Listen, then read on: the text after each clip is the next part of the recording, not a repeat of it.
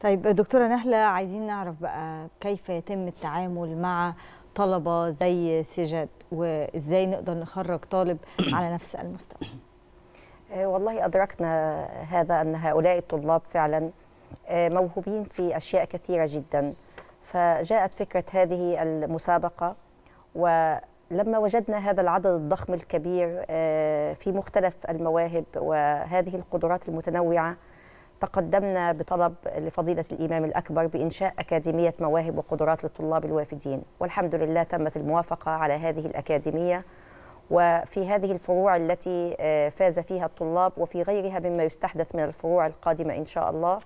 وإن شاء الله نبدأ العمل فيها قريبا لنستوعب هؤلاء الطلاب.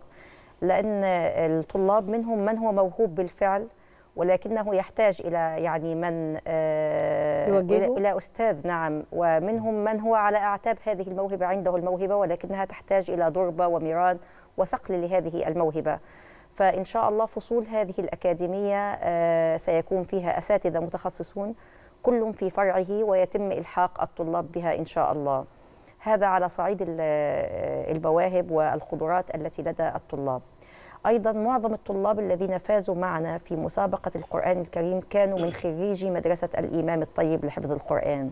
وهذه المدرسة يعني آه، منذ عام تقريبا وولدت في الحقيقة مدرسة عملاقة جدا.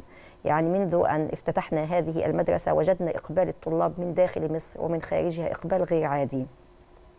وكانت شروط فضيلة الإمام أن يدرس في هذه المدرسة من اختبر من قبل لجنة تحكيم على مستوى عالي وهم لجنة مراجعة المصحف في مجمع البحوث الإسلامية ما شاء. الله آه فتم عقد اختبارات ل كلها لطلبة مدرسين. جامعة الأزهر فقط لا للطلبة للطلاب الوافدين سواء مهم. كانوا من تعليم قبل الجامعي أو الجامعي بشرط أن يكون يعني إقامته في مصر إقامة حتى لو طالب وافد لكن له إقامة يعني نعم. هم من آه، من داخل الأزهر آه، فهذه المدرسة كانت عبارة عن فصول متنوعة فيها جزء عامة فيها أيضا ثلاثة أرباع القرآن نصف مستويات. القرآن مستويات مم. نعم وكل طالب له ملف ويتم متابعة الطالب أولا بأول وإلى أن يتم الجزء المطلوب منه آه، فحافظنا أولا على أن تكون مستويات الطلاب لأن حفظ القرآن شيء أساسي في الأزهر الشريف طبعا فضمننا لهم أن يكون آه، في نهاية العام في المادة الدراسية التي هي القرآن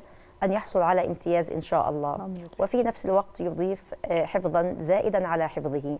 وإن شاء الله يعني نخرج الدفعة الأولى قريبا من هذه المدرسة من أتموا حفظ القرآن كاملا ما شاء الله بالقراءات. ما شاء الله. فيعني إن شاء الله. ده عظيم جدا.